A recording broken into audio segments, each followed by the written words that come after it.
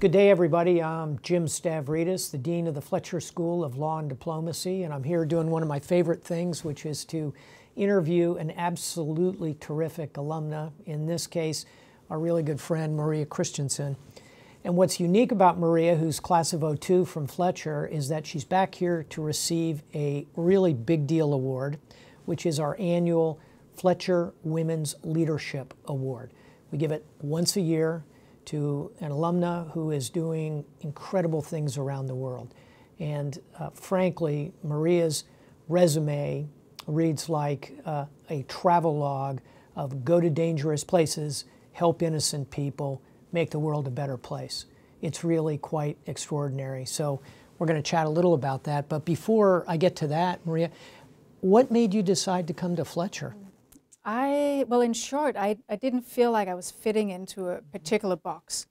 And so what intrigued me about the Fletcher School was this interdisciplinary nature of not just economics or diplomacy or politics or humanitarian affairs, but how everything interlinks.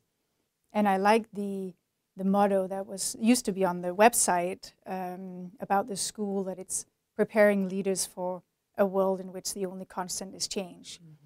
And so to me, that has been very important about my Fletcher education. Mm -hmm.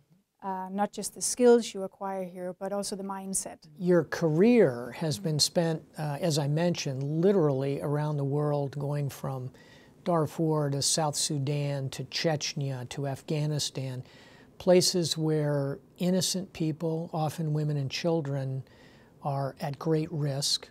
And you have put your life on the line, literally, again and again, to try and protect them, to try and help them.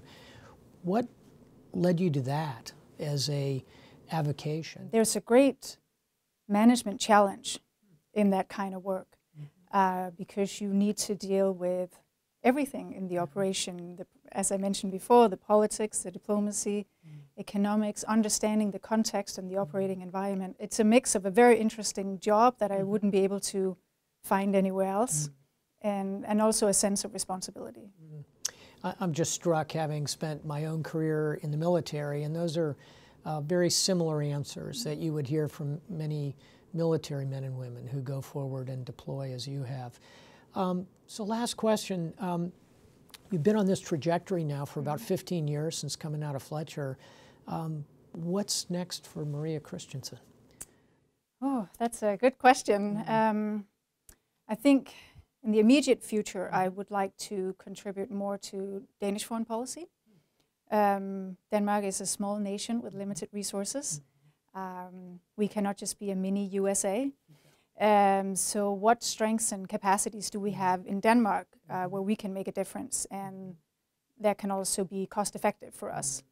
So I think that's a very interesting area to work in and I would like to make a contribution there. Another good area that uh, hopefully Fletcher has prepared you for. Well, Maria, we're incredibly proud of you. I'm looking forward to hearing you speak a little later this evening as we put the award on you.